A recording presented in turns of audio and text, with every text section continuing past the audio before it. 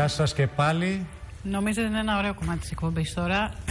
Είναι ένα Θα ωραίο ηρεμήσουμε κομμάτι, λίγο. είμαστε χαρούμενοι και μας τιμάμε την παρουσία του ο κύριος Στέλιος Δράμφος. Ο κύριος Στέλιος Δράμφος Χαίρετε. που Χαίρετε, χαίρετε. όταν με ρώτησαν καλά προεκλογικά τώρα μέσα στη μάχη της, ε, μέσα στην προεκλογική περίοδο θα κάνετε μία συζήτηση φιλοσοφικού περιεχομένου και λέω νομίζω ότι είναι ο καταλληλότερος.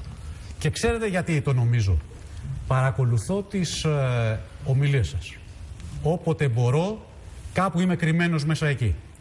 Και έτσι νομίζω θα ξεκινήσουμε από το σπήλαιο του Πλάτωνα.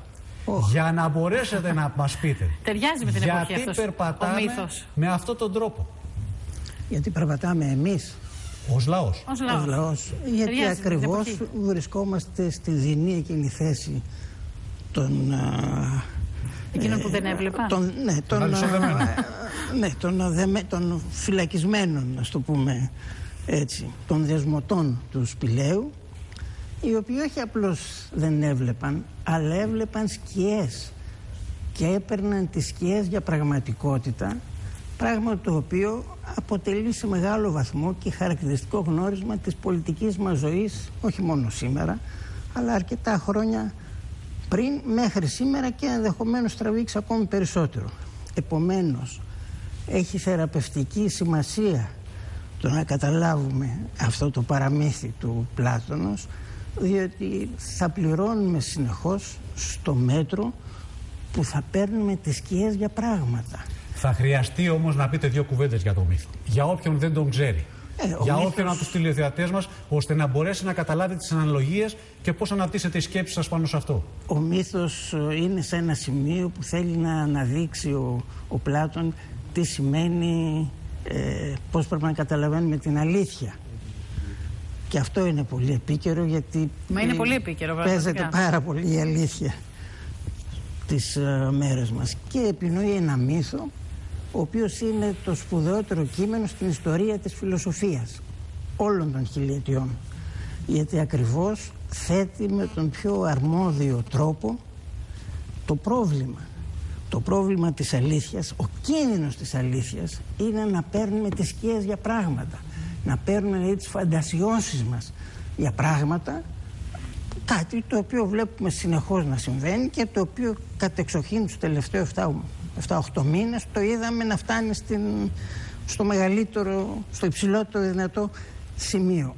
Εάν δεν θεραπευτεί κανείς από αυτό, το οποίο σημαίνει για να θεραπευτεί μια εσωτερική δική του ενότητα ώστε να μπορεί να τα βρίσκει με τους άλλους μέσα από την αλήθεια τότε είναι βέβαιο ότι τον περιμένει η άβυσος. Στον Πλάτωνα όμως και δύσκολο ανέβασμα είχε, αυτός που βγήκε έξω. Και δύσκολο το κακοτράφαλος πέρασε ο μετά. δρόμος. Και δύσκολο το ήθελε πέρασε να στους γυρίσει και υπόλοιπους. πίσω. όχι μόνο ήθελε να γυρίσει, Έτσι απο- δεν είναι. Είναι και αποφάσισε υποχρεωμένος να βέβαια. μοιραστεί τη γνώση που απέκτησε με τους κάτω γνωρίζοντας ή εικάζοντας ότι ενδεχομένως αν τους το έλεγε θα τον καταξέσκιζαν Ναι, ναι, ναι.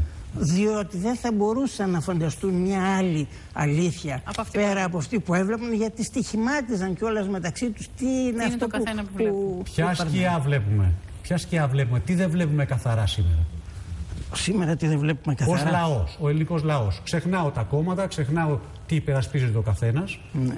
Γιατί και εσείς μιλάτε με όρους ελληνικού λαού. ναι. Έτσι, μιας κοινότητας ανθρώπων σε συγκεκριμένο γεωπολιτικό σημείο. Με όλα όσα Ανατολή, Δύση, συνάντηση, με όλα αυτά που στην πορεία σας έχετε εμπλουτίσει ε, μέσα στη σκέψη και στην ανάλυση που κάνουμε. Ποιες είναι οι σκιές μου, τι δεν βλέπω καθαρά; Εκείνο που δεν βλέπω καθαρά είναι ο εαυτός μου και γι' αυτό το λόγο όλα τα φορτώνω στους άλλους. και γι' αυτό το λόγο παρακολουθώντας την αναμονή λίγο το προηγούμενο έβλεπα περιόνους σκιάς να τσακώνονται όλοι διότι το θέμα ήταν οι διαφορές για αριθμούς ενώ στην πραγματικότητα και η επίρρηψη ευθυνών η μένει στους δε ενώ το κρίσιμο πρόβλημα της αλήθειας είναι πόσο ένας θα χωρέσει τον άλλο. Αυτό που μας τρώει στην Ελλάδα και μας τρώει όχι τώρα τα τελευταία χρόνια, μας τρώει από, Από την εποχή του καταβολές Πλάτωνα ίσως. και τότε αλλά ας πούμε του νεοελληνικού έθνους όπου μετά από μερικά χρόνια κλείνουμε τα 200. Ναι, 1821, Σωστά. 2021. Σωστά. Αρχίζουν να μειώνονται και οι δικαιολογίες. Αρχίζουν να μένουν και δικολογίε και ακριβώς αυτό το οποίο πληρώσαμε και πληρώνουμε συνεχώς είναι ότι στην αδυναμία μας να σκεφτούμε τις δικές μας ευθύνες και στην επιθυμία μας να τα φορτώνουμε όλα σε άλλους και να βρίσκουμε διαφόρους εχθρούς οι οποίοι είναι οπουδήποτε αλλού από μέσα μας αυτό είναι που δεν εξετάζουμε φτάνουμε σε ένα σημείο να επιλέγουμε μονίμως το δρόμο του διχασμού γιατί στην πραγματικότητα Δεν είναι κουραστικός δρόμος του διχασμού όμως. Γιατί τον επιλέγουμε ενώ είμαστε βολεψάκιδες, άρα ε, μπαίνουμε σ- στα καλούπια μας και καθόμαστε και είναι φυσικασμένοι. κουραστικός αλλά έχει ένα πλεονέκτημα εισαγωγικά είναι αποενοχοποιητικός επιθετικά μας αφήνει να επιτεθούμε στους τρίτους και να αποενοχοποιηθούμε επειδή ακριβώς πολεμάμε κάποιον τον οποίο βαφτίζουμε όπως θέλουμε έχει μεγάλη σημασία Απολύτως, καταλαβαίνω τι λέτε. έχει μεγάλη σημασία να, να πλησιάζουμε αυτά τα φαινόμενα προσπαθώντας να βρούμε ποια είναι η ευχαρίστηση την οποία εισπράττει εκείνος που κάνει κάτι Ναι, καταλαβαίνω. νομίζοντας Πεςτε μου όμως, ε, ε, σε αυτό το μύθο ξεκινάμε από τη- με μια βασική προϋπόθεση. Ναι. Αλυσοδεμένη. Εμάς ποιον μας έχει αλυσοδέσει; πάντα μας, αδυ- μας αλυσοδένει η αδυναμία μας να σκεφτούμε τον εαυτό μας είμαστε δέσμοι Είναι ενός- στο DNA του Έλληνα, εννοείται; Όχι. Άρα δεν υπάρχει ένας Είναι μόνο κοινωνικο-πολιτικός ελληνικό αυτό. περίγυρος είναι πολλών που ενισχύει λαών και όσων- αναπαράγει αυτή την είναι οτροπία. Όσων λαών δεν έχουν περάσει την εμπειρία ας πούμε μιας αναγεννήσεως όπου απελευθερώνεται ο άνθρωπος και η πράξη του όπου ελευθερώνεται το μάτι από το μύθο όπου η πραγματικότητα από τη μαγεία διαφοροποιούνται γιατί εμείς μην ξεχνάτε ότι εδώ όλους τους τελευταίους μήνες γίναμε θύματα μιας μαγείας την οποία υποβάλλουμε στον εαυτό μας και μιας μυθοποιίας, μιας μυθολογίας. Και αυτά πληρώνουν, αυτά λέγονται όμως 100 δις του τρίτου μνημονίου. Ο Πλάτων δηλαδή ζυγίζει 100 δις. Ναι, ο Πλάτων ζυγίζει 100 δις και, Στην και περίπτωση. μάλιστα ξέρω ποιος θα τα πληρώσει. Αλλά ε, α, ε, προσπαθώ να καταλάβω το εξής. Οι αλυσοδεμένοι θα Οι τα αλυσοδεμένοι λοιπόν που θα την πληρώσουν, που δεν παίρνουν και είδηση και θα την πληρώσουν κιόλας. Και δεν φταίνε, υποψιάζομαι. Λέτε λοιπόν Σε ότι ένα μια βαθμό δεν πορεία, φταίνε. μπράβο, μια πορεία αυτογνωσίας αυτή την ίστατη ώρα της ανάγκης που βρισκόμαστε στις χειρότερες συνθήκες. Γιατί μάλλον τότε φαίνεται να ξυπνάμε λιγάκι. Ναι. Έτσι δεν είναι; Μας, μας τσιγκλάει η ανάγκη, η προσπάθεια που να ζήσουμε. στην Ξυπνάμε, καθημερινότητα αλλά μας πάλι στο ανθρωπινά. διπλανό τα ρίχνουμε. Αυτό το Φοβάμαι, κάνουμε. φοβάμαι, φοβάμαι ότι εάν δεν υπάρχει ένας δρόμος μπροστά να τον δούμε, είδατε τι είπε, τι είπατε στο μύθο; Ο δεσμοφύλακας τον πήρα το χέρι και τον έβγαλε έξω. Ναι. Δεν απελευθερώθηκε μόνος του. Και δεν ήθελε Το να μπή- ανέβει ο δεν ίδιος, ήθελε και να ανέβει. αντιδρούσε. Ο δεσμοφύλακας λοιπόν εμένα ποιος είναι; Θεωρείτε ότι είναι η Ευρώπη ο δεσμοφύλακας σε αυτή τη φάση; Όχι, είναι αυτό που λέει ο Πλάτων. Η συνήθεια. Συνηθίας δείτε. Η συνήθεια θα Η- με βγάλει; Η συνήθεια που σημαίνει η κουλτούρα. Είμαι στην κουβέντα μας και ήθελα να σας ρωτήσω κάτι. Ε, Παρακαλώ. Αυτός που ανεβαίνει πάνω και έρχεται πάλι πίσω για να πει την αλήθεια επί της ουσίας. Ποιος είναι, Ποιος θα έπρεπε να είναι, Είναι ο πνευματικός άνθρωπος; Καταρχήν υπήρξε ένας τέτοιος στην ιστορία. Ήταν ο Χριστός Μάλιστα. που κατέβηκε και σταυρώθηκε.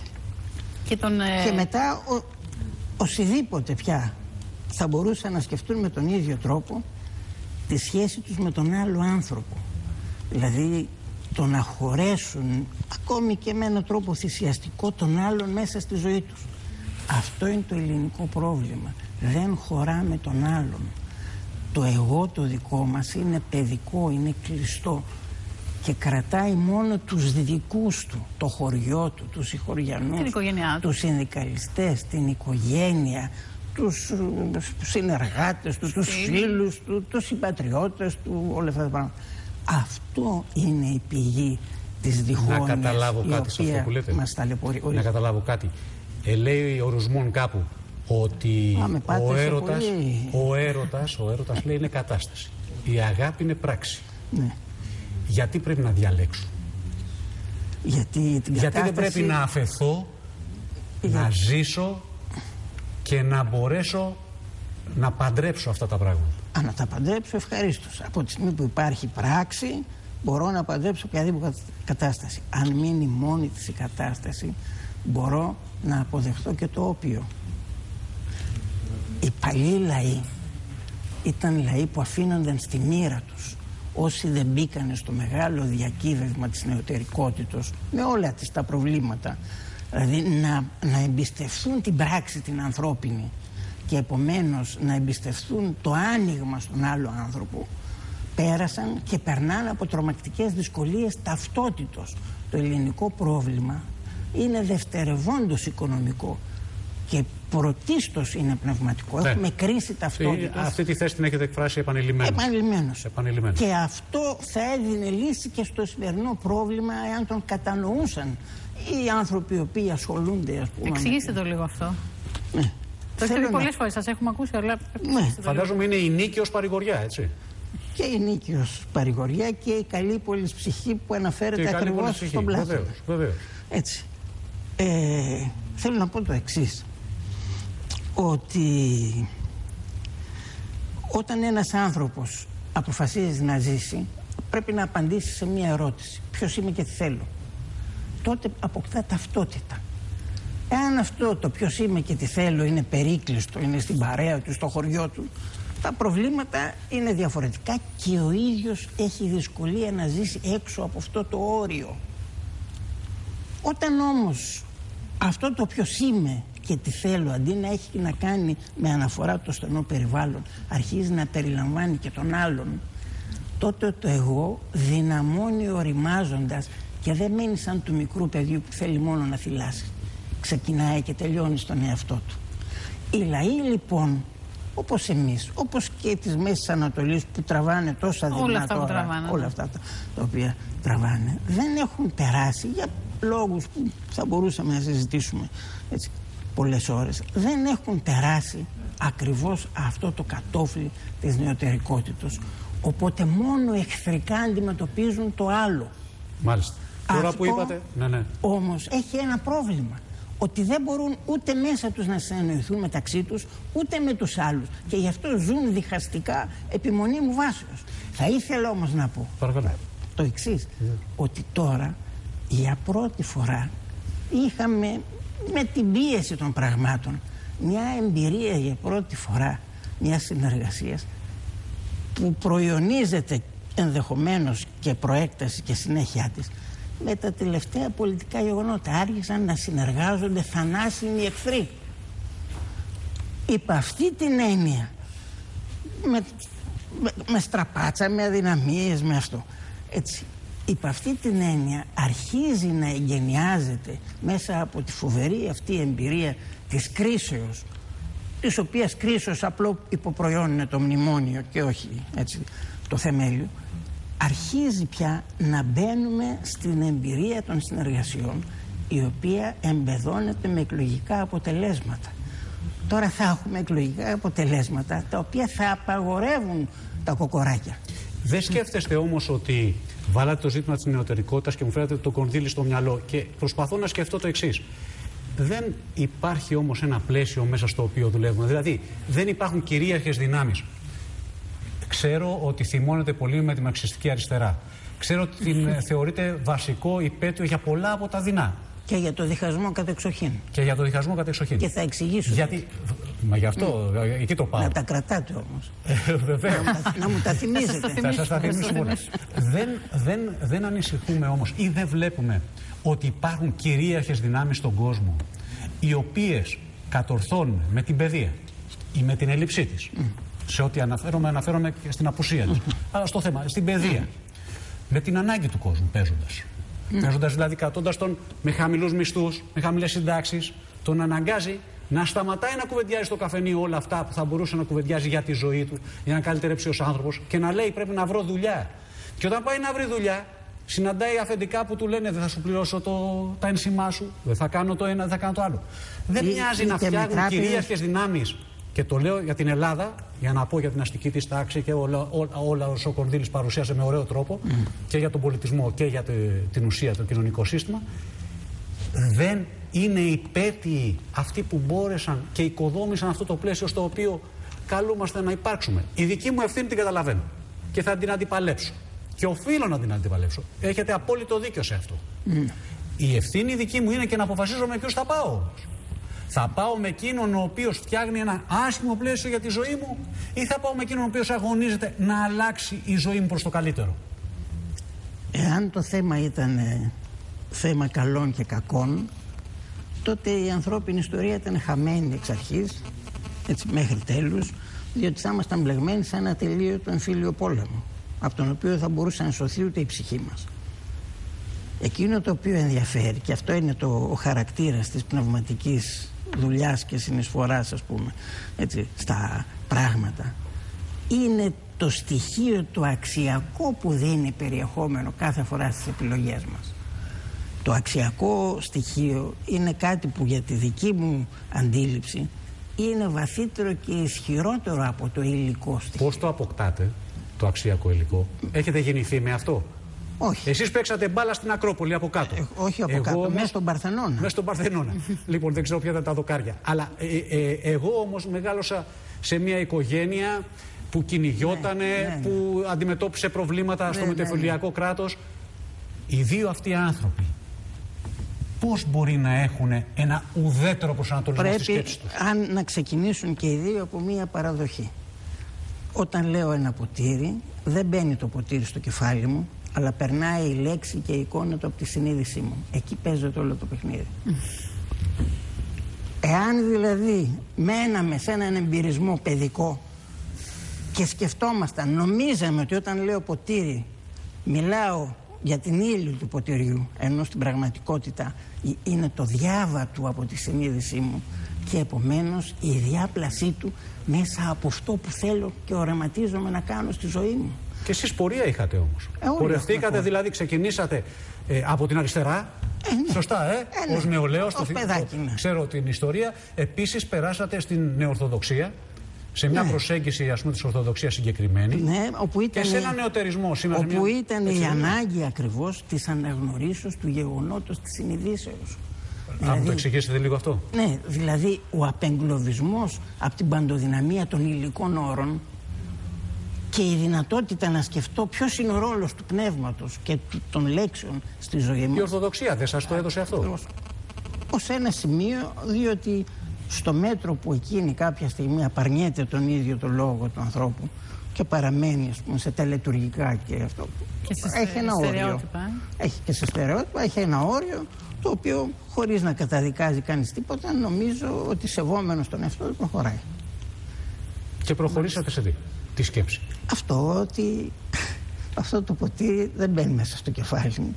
Ένα θορυκτό δεν μπαίνει μέσα στο κεφάλι μου, αλλά είναι μια λέξη. Δηλαδή είναι ένα γεγονός της συνειδήσεώς μου. Εκεί παίζεται λοιπόν όλη η μοίρα του ανθρώπου. Στο τι τα κάνουμε αυτά τα πράγματα. Και υπ' αυτή την έννοια όλες οι συνθήκες οι εξωτερικές διελίζονται μέσα από γεγονότα που έχουν ένα τέτοιο χαρακτήρα και γι' αυτό το λόγο ξέρουμε από πολύ παλιά ότι βεβαίως η συνείδηση έχει μία αυτονομία. Η συνείδηση, επειδή έχουμε συνείδηση αλλάζουμε τα πράγματα. Κανένα ποντίκι δεν έχει αλλάξει πράγματα, καμία γάτα. Απλώς τρώνε ή κα- παρακάμπτουν και προχωρούν. Εμείς αλλάζουμε τα πράγματα. Γιατί τα αλλάζουμε Μια τα και το πράγματα; λέτε αυτό, εγώ θέλω να σας ρωτήσω Γι' κάτι αυτό το άλλο. λόγο, γιατί είναι γεγονότα της συνειδήσεώ μας χωρίς να πάβουν να είναι υλικότατα. Και αν πέσουν στο κεφάλι μας, το σπάσουν. Ο, σύγχρονος, ο σύγχρονος άνθρωπος έχει εξελιχθεί τεχνολογικά. Ναι. Πολύ.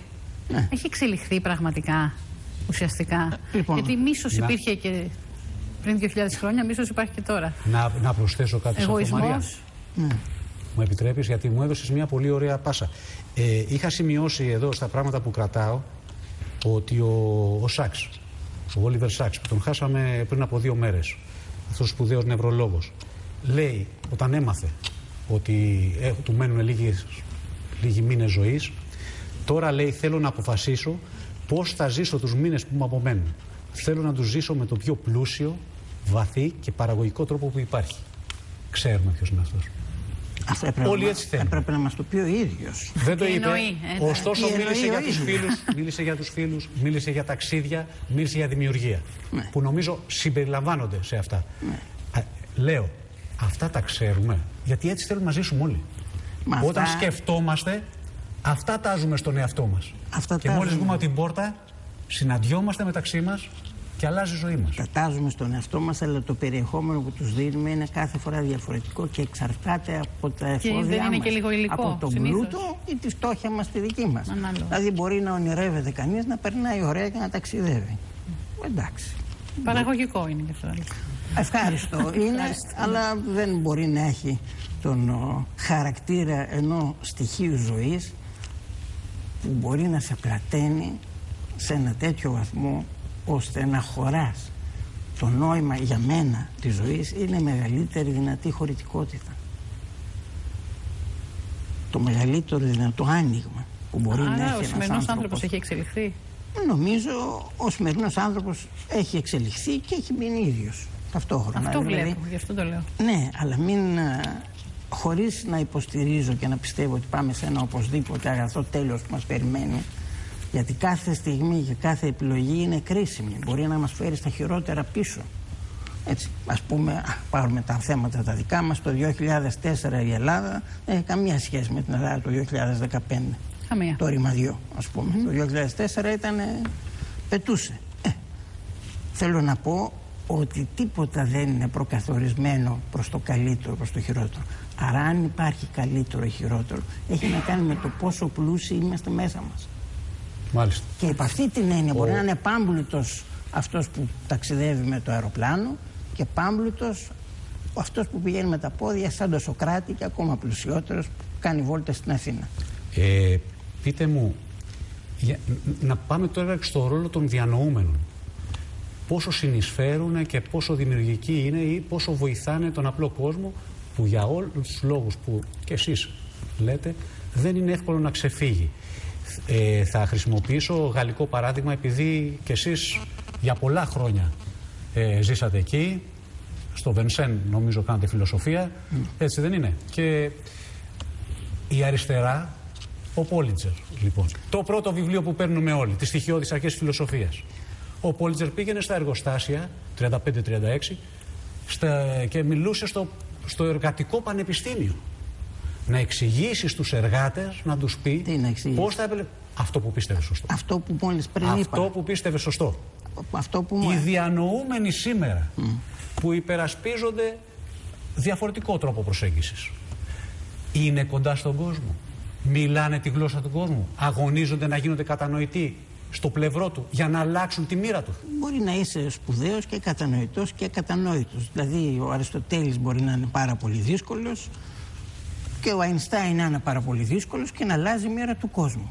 Μπορεί να είναι ένας άνθρωπος πολύ απλός όπως είναι ο, ο Σοκράτης και να αλλάζει αλλά η μοίρα του ζητήσατε κόσμου. να περιλάβουμε τον άλλον. Μα τι λέω. Ζητήσαμε λοιπόν να πάμε μαζί του. Όλοι Ο εσ- Σοκράτης, ο, ο Αϊστάιν πράγματι, αυτό που ανακάλυψε δεν μπορούσαμε να το παρακολουθήσουμε εύκολα ούτε να βαδίσουμε στον ίδιο δρόμο. Ναι, το αλλά αρπάξαμε μας και το έβαλε- χρησιμοποίησαμε. μας έβαλε- Και άλλαξε τη ροή.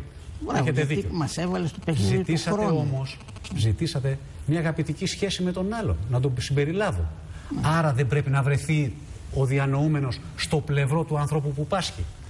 Και με ποιον τρόπο; Μα νομίζω κάθε άνθρωπος ο οποίος παλεύει για την καθαρότητα και τη σαφήνεια των σκέψεών μας και την α, ας πούμε διάβια, τη διαφάνεια της συνειδήσεώς μας αυτό κάνει.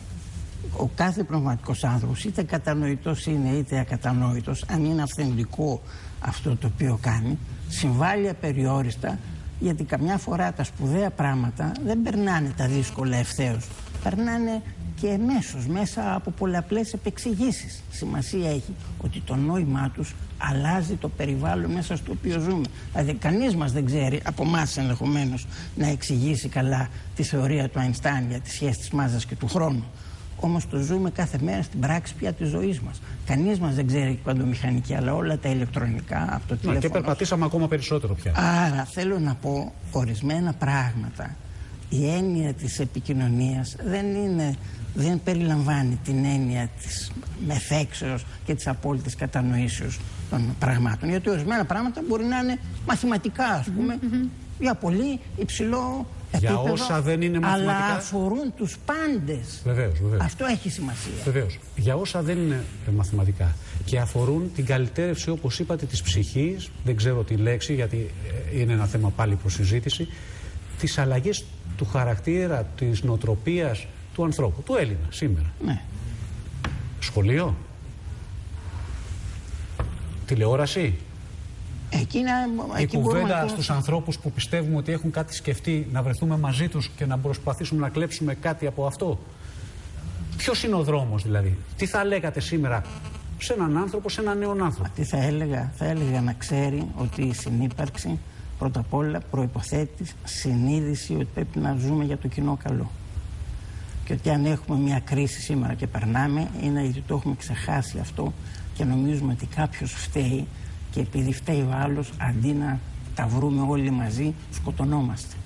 Μάλιστα. Mm-hmm. Μιλάτε για μια ηθική της ευθύνης, δηλαδή. Δεν είναι μόνο ηθική της ευθύνης, είναι το βου και αβά τη πολιτικής θεωρίας του Αριστοτέλη. Σωστά. Το βιβλίο μεν μπορεί να είναι δύσκολο, αλλά πια μέσα στους αιώνες ξέρουμε ότι το νόημα της ζωής, του πολιτικού βίου, η πόλη είναι τόπος ειρήνης. Η ζούγκλα είναι τόπος όπου τρώγονται όλα μεταξύ τους. Επομένως, αν μεταφέρουμε τη ζούγκλα και την κάνουμε πολιτικό αγώνα και δεν καταλαβαίνουμε ότι οφείλουμε να συζήσουμε και να τα βρούμε μαζί και να δώσουμε μεγάλη σημασία στην για πρώτη φορά συνύπαρξη αιωνίων εχθρών όπως έγινε τα τελευταία χρόνια και αυτό έτσι, να δούμε πώς θα αυγατήσει και πώς θα το εκμεταλλευτούμε σωστά. Πώς θα το εκμεταλλευτούμε σωστά, γιατί αυτό θα λύσει το πρόβλημα. Όταν λοιπόν λέμε, δηλαδή δεν το συζητάνε στα πάνελ τα διάφορα για την πολιτική. Δεν συζητάει κανείς ότι αυτό είναι σπουδαίο γεγονός. Σημαντικό ότι βρέθηκαν πολιτικοί εχθροί με άβυσο μεταξύ τους οι οποίοι συμφιλιώθηκαν από ανάγκη, από ανάγκη αλλά άντεξαν αυτή την επιλογή και τώρα πια το συζητάνε με άνεση.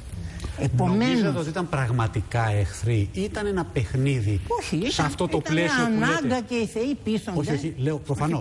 Η ανάγκη τους οδήγησε. Ναι. Αλλά μιλάτε για δύο εχθρούς. Mm. Ήτανε πράγματι εχθροί, ήταν ένα παιχνίδι πολιτικής, μικροπολιτικής, να διατηρήσω το κοινό μου και το άλλο κοινό. Ήταν η ήτανε τράπεζα, ψεύτικος, ήτανε το, ένας ψεύτικος διχασμός. Ήταν λοιπόν το μοίρασμα της τράπουλας μιας κουλτούρας που θέλει εχθρούς. Που θέλει εχθρούς. Όμως η κουλτούρα αυτή με τους εχθρούς βγήκε ακριβώς στην κρίση και στο μνημόνιο. Αυτό έφερε. Το γεγονός ότι για να καλυφθούν πελατειακές σχέσεις έπρεπε οι δύο αυτοί χωριστοί εχθροί κάθε φορά ο ένας να υπονομεύει τον άλλον. Και επομένως να χαρίζεται ο ένας στον άλλον και με αυτόν τον τρόπο να αφήνει τα πράγματα να κυλάνε και να δανείζεται απλά. Άρα κύριε Ράμπο η λύση η λύση, από η, η, λύση λοιπόν αρχίζει εδώ και δυόμιση χρόνια να διαφαίνεται. Ότι πια πρέπει να μάθουμε στη συνεργασία και αυτά τα εκλογικά αποτελέσματα είναι άκρος ενδιαφέροντα τα 25, 24, 25, 22, 29, 28. Γιατί πια Ελπίζετε ένας... ότι μπορεί να αλλάξουν τον άνθρωπο, τον, τον Έλληνα. Όχι, μπορεί να, να δώσουν τη δυνατότητα μιας, να δείξουν ότι μπορεί να συμβεί κάτι. Ότι μπορεί να συνεργάζονται οι άνθρωποι. Νομίζω ότι το κρίσιμο πολιτικό πρόβλημα είναι να αφομοιώσουμε αυτό ως δυνατότητα το οποίο αποκλείουμε. Νομίζω όμως, αν μου επιτρέπετε, ναι. ότι στο μαγαζί μου ναι. ο υπάλληλό μου, εγώ να είμαι Νέα Δημοκρατία, δεν με πειράζει ο υπάλληλος μου να είναι Πασόκ. Να δεν ή και το ανάποδο, ή Ναι. Κουκουέ ή οτιδήποτε Ναι. άλλο. Θέλω να πω ότι στην πραγματικότητα η καθημερινότητα ενώνει τους ανθρώπους. Το πρόβλημα ενώνει τους ανθρώπους. Το κακό είναι ότι ενώνει μόνο το πρόβλημα. Ότι δεν είναι όλη η ζωή μας οικοδομημένη Ποια σε αυτή είναι- την προσπάθεια. Για ποιο λόγο, Δι- διότι Αλλά- στην Ελλάδα έχουμε ένα πρόβλημα. Ναι. Στην Ελλάδα μας ενδιαφέρει το μέλλον χωρίς το παρόν. Και γι' αυτό το λόγο πάμε στο γυρνάμε, time out τώρα. γυρνάμε Πάμε τώρα στο πάντα στο time out και παρελθόν. στο χρόνο. Γι' αυτό γυρνάμε πάντα στο παρελθόν. Ποια είναι η Α- σχέση μας με τον χρόνο; Αυτή, μπράβο λοιπόν. Η σχέση με τον χρόνο είναι συνεχώ ένα τέλος χωρίς το παρόν. Που σημαίνει μια παράνοια. Αυτό το οποίο γίνεται σήμερα και εμφανίζονται διάφοροι να λένε ας πούμε ποιος τους αρέσει και ποιος τους αρέσει και με ποιον θα συνεργαστούν και τι είναι ο ένας και τι είναι ο άλλος αυτή είναι το παλιό. Το καινούργιο είναι αυτό που λένε θα συνεργα... θέλουμε συνεργασία ανεξαρτήτως ηλικίας. Μπορεί να είσαι σταραντάρης και να είσαι 400 ετών επειδή ακριβώς αυτό το οποίο βλέπεις είναι η δυνατότητα μιας, και μο- μιας συνεχούς ρήξεως φαυτίζοντάς την φαντασιακά Να καταλάβω κάτι. Στη θεωρία των αντιθέσεων.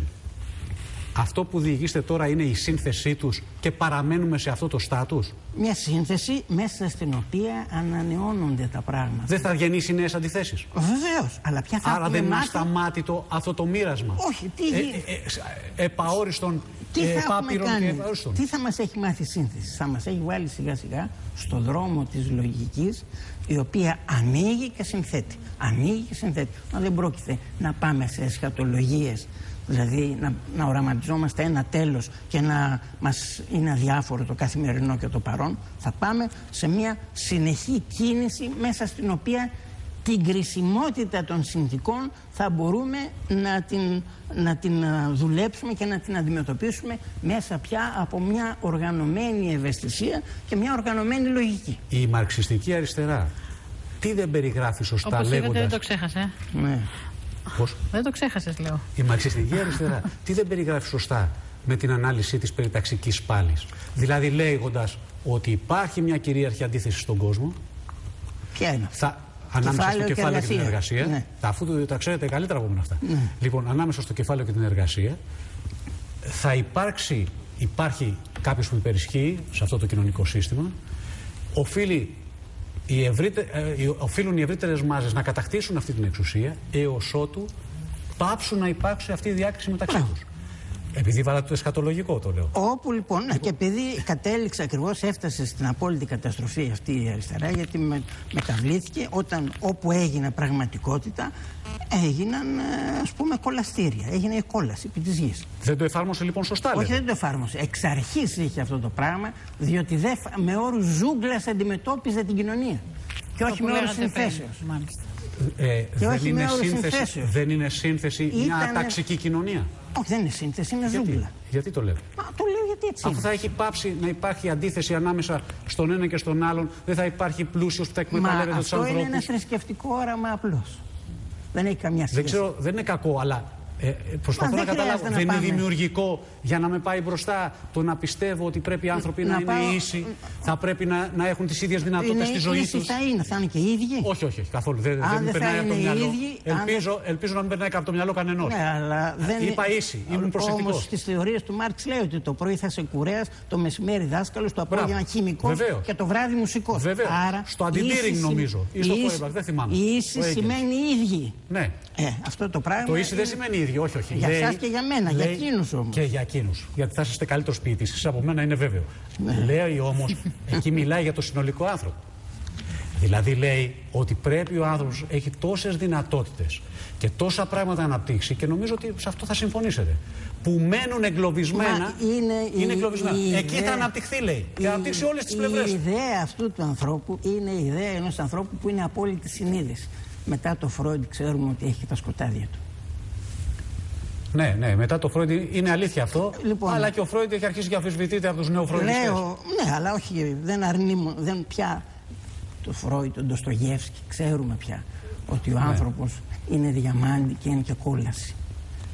Ναι. Εκεί παίζει ρόλο η ζωή του πνεύματος πέρα από τις ασχατολογίες που μας ζωγραφίζουν με έναν τρόπο θριαμβευτικό όπως νομίζουν για να μας αποκοιμήσουν απέναντι σε τι να μας αποκοιμήσουν στις θεμελιώδεις, στις ριζικές εσωτερικές ρήξεις που έχουμε.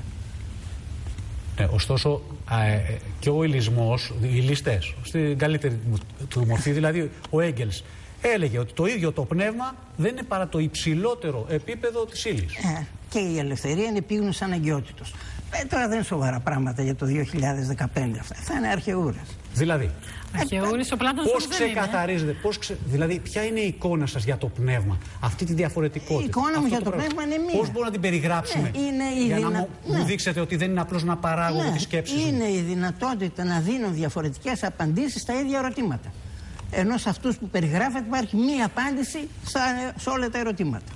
Φαντάζομαι όσο του λύσουν το πρόβλημα, αλλά ε, όχι, δεν ξέρω αν θα λυθεί ποτέ. Όχι, ή αν- όχι. αν θα για επιδιώξουν. αυτούς δεν, το πρόβλημα είναι καθαρό γιατί είναι δετερμινός, είναι νόμοι που καθορίζουν με φυσική αναγκαιότητα την ψυχή και το πνεύμα του ανθρώπου. Εντάξει, ο δετερμινισμός έχει άγριες μορφές, αλλά Και εξηγεί, ιδιότερες να εξήγησε έχει. στην ιστορία και στην πορεία της ανθρωπότητας πάρα πολλά πράγματα. Όσα ήταν μηχανικά. Πάλι μου ξεφύγατε με το Γιατί πνεύμα. ναι, δεν ξεφεύγω. Όσα Όχι, είναι ο- δεν μηχανικά. εννοώ ξεφύγατε. Το εννοώ ότι πνεύμα παρουσιάζοντας το είναι- πνεύμα έξω από το παιχνίδι, Το πνεύμα σας δίνει τη δυνατότητα κάθε φορά να λέτε ό- όσα είναι μηχανικά. Το πνεύμα βάζει τα όρια κάθε φορά. Γι' αυτό ο άνθρωπος είναι ένας θρίαμβος και ένα βαθύ σκοτάδι. Γι' αυτό αν θέλουμε να καταλάβουμε τι συμβαίνει, Και να γυρίσουμε γύρω μας θα δούμε ακριβώς περί τίνος πρόκειται. Δεν είναι καθόλου τυχαίο ότι για να λύσει τα προβλήματα αυτή η σκέψη βάζει μαύρο και άσπρο. Και κάθε φορά υποχρεώνει σε διχασμούς ανελαίητους τον άνθρωπο τους οποίους λύνει με στρατόπεδα συγκεντρώσεως.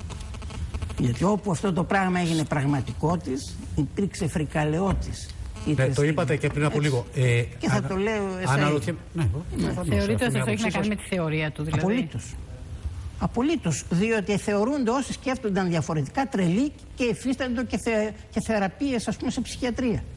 Ε, εγώ θα, ε, θα ήθελα να βάλω μερικά ζητήματα ακόμα. Δηλαδή, νομίζω ότι αυτό το πράγμα προσπάθησε να απαντήσει η Δύση σε αυτό το πράγμα που λέτε, ε, λέγοντας, μιλώντας για προτεραιότητα της ύλης, αλλά πρωτείο του πνεύματος.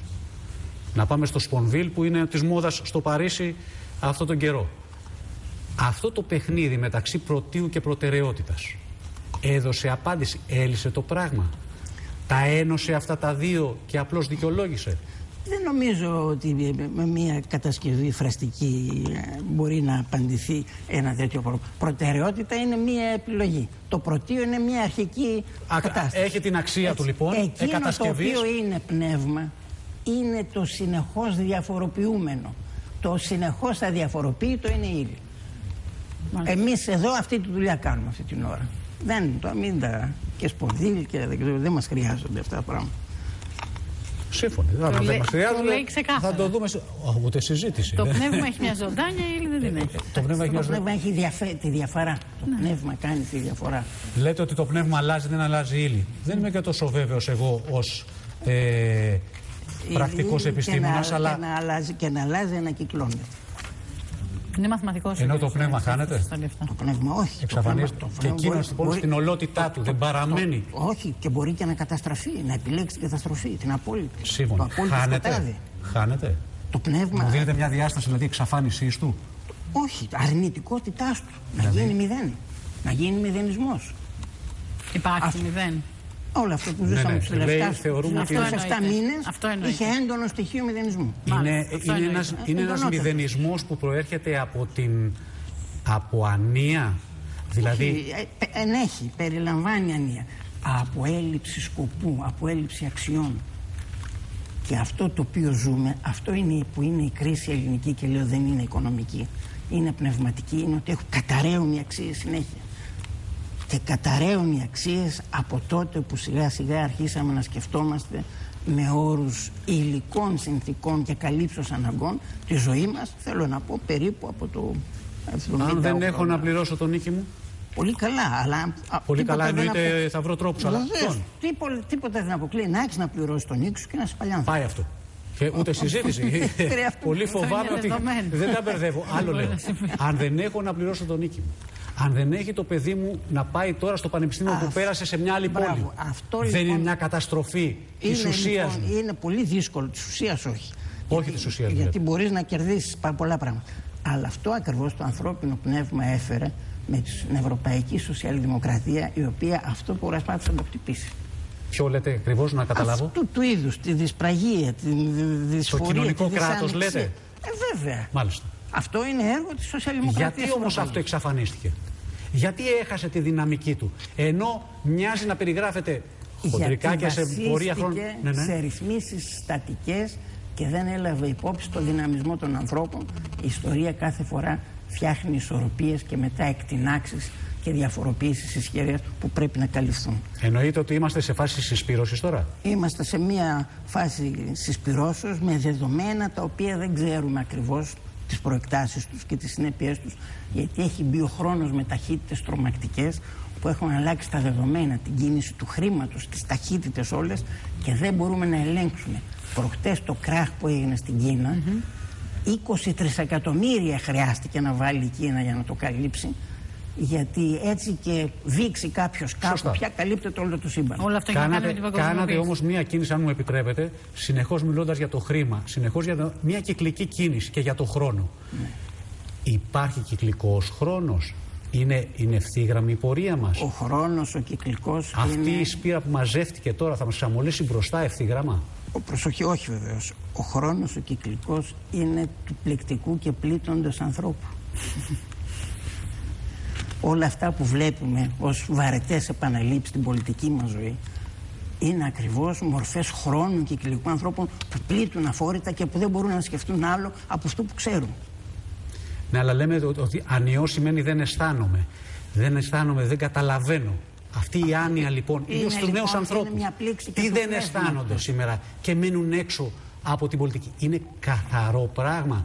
Αμφισβητούν την πολιτική ως ένα πράγμα που έφτασε στα όρια του, που δεν μας περπατάει σωστά. Αυτό που βλέπουν. Ή είναι μια αδυναμία, μια δειλία και δεν είναι καθόλου δειλία. Αυτό που, βλέπουν, φόβος. αυτό που βλέπουν είναι πληκτικοί άνθρωποι και δεν μπορούν να το υποφέρουν. Θέλουν κάτι άλλο σε μια εποχή που βλέπουν ζωντανά. Θέλουν κάτι νέο λοιπόν. Θέλουν κάτι δυνατό. Και δυνατό. Στη συγκεκριμένη περίπτωση για την Ελλάδα, το νέο είναι τρόπος να συγχωρεί ο ένας τον άλλον. Αυτό πιστεύετε. Να χωράει ο ένας τον άλλον θέλω να πω. Δηλαδή συγχωρώ. Η Ελλάδα σε αυτά τα θέματα είναι πιο πίσω από την υπόλοιπη Ευρώπη θεωρείτε; Ε, πολύ πιο πίσω γιατί ε, το θέμα ας πούμε αυτής της χωρητικότητας προϋποθέτει ότι μπαίνω στη θέση του άλλου. Η αριστερά ως θεμελιώδες στοιχείο της κοσμοθεωρίας της δεν έχει ακριβώς αυτό το στοιχείο. Δεν μπαίνει στη θέση του άλλου αριστερός. Χτυπάει τον άλλον. Βλέπουμε τώρα με τα φροντιστήρια τι είναι. Λέει με τα ιδιωτικά σχολεία ΦΠΑ 23% για να πληρώσουν οι πλούσιοι. Μα δεν είναι πλούσιοι που θα πληρώσουν γιατί αυτοί θα τα δώσουν. Όταν πληρώνουν οι άνθρωποι των φροντιστήριων, οι μεσαίοι θα πληρώσουν. Και οι μικροί μπορεί Και οι μικροί βεβαίως. Γιατί τα παιδιά τους πρέπει να μάθουν αγγλικά. Σε μια, σε μια εκπαίδευση. Δεν θα πάνε όμως πια, κυρία.